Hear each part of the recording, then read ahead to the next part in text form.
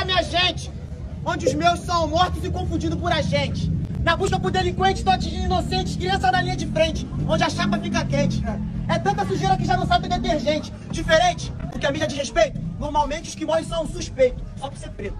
Agora entendi porque estão me olhando assim. Já mediu de cima e abaixo, só não disse o que quer de mim. Será que é meu cabelo, minha roupa ou meu jeito? Que faz sempre eu parecer ser suspeito. Pra que todo esse suspense, cara? Pense duas vezes antes de dar na minha cara ou encostar na parede. Não tenho Mercedes Seis, vive a Mercedes bem. Estou caçando dinheiro? Já adianto que eu tô sem. Aí, sem identidade, sem compasso, deixei o meu dentro de casa. Sem fragrante há uns instantes.